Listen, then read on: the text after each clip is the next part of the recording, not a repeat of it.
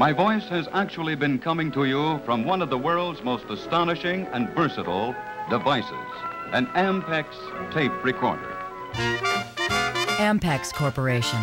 Founded in 1944, this legendary electronics company revolutionized the radio, recording, and digital industries with its pioneering concepts for audio, video, magnetic tape, and data storage.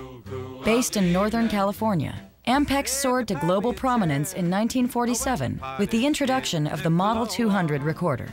Hailed as the world's first practical audio tape device, the Model 200 set industry standards after Bing Crosby used the recorder to play back the first ever tape-delayed broadcast of a national radio show.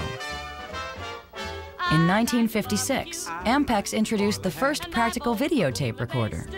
Today, the Ampex VR1000 is credited with enabling the growth of the video medium while cementing Ampex's status as a technological leader.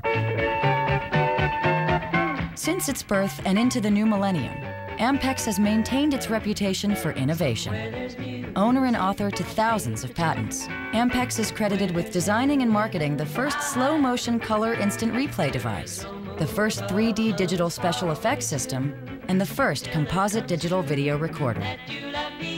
In the late 1950s, Ampex established its magnetic tape division, transforming the company into a trusted manufacturer of both recorders and tape.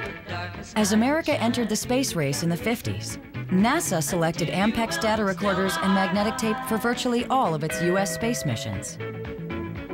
In the 90s, Ampex emerged as a pioneer in the fields of digital video and compression technology allowing consumers to easily transmit video files over the internet.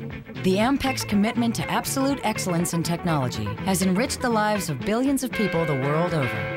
In appreciation for six decades of breakthrough engineering, design, and marketing, the 2008 Technical Grammy Award proudly goes to Ampex Corp.